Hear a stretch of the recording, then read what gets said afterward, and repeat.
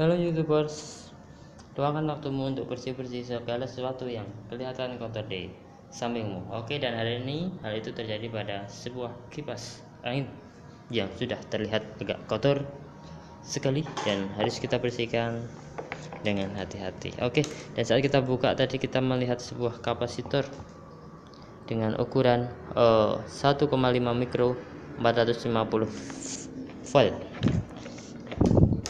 mungkin uh, dalam jangka waktu berapa tahun ke depan uh, kapasitor itu akan rusak mungkin bisa melembung atau apa. Makanya saat nanti ada kasus kipas mati kapasitor yang tadi menjadi salah satu hmm, menjadi salah satu penyebabnya pada nantinya. Oke dan saat ini kita tidak membahas kapasitor tapi kita membahas untuk merakit kembali kipas angin kita yang sudah kita bersihkan hari ini. Oke kita masukkan. Oke yuk. Kita ambil pengunci set. Oke kita putar searah jarum jam. Wish. Hmm. sampai kenyang salah jalan jam. Set set set. Ya oke okay, sip. Kita ambil baling-balingnya. Oh. Masih basah. Kita ambil baling-balingnya. Sedikit lap karena kondisinya tadi belum dibalik di pada sisi sebelahnya.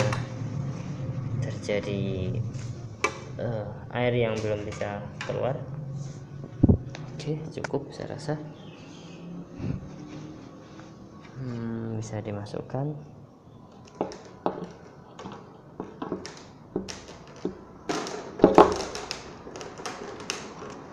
Oke cukup ya dan kita penguncinya untuk pengunci di depan fan.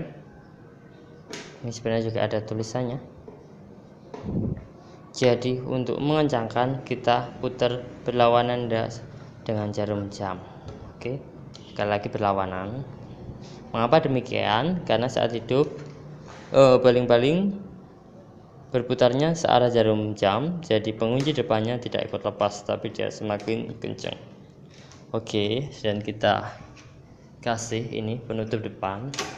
Kenapa kasih penutup depan? Ini difungsikan apabila terjadi kekendoran uh, pada baling-baling atau terjadi uh, pecah baling-baling atau apa pun sini sebagai cover sehingga sehingga barang yang pecah atau apa dari dalam itu tidak langsung keluar mengenai orang luar atau tidak uh, menyambar orang.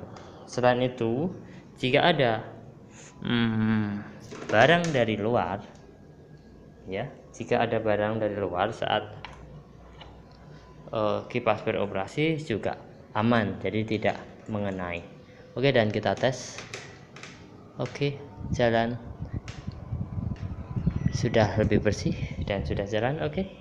cukup sekian manfaatkan waktu luang anda untuk mengerjakan hal-hal yang kelihatannya sepele tapi ini sangat bermanfaat oke okay, terima kasih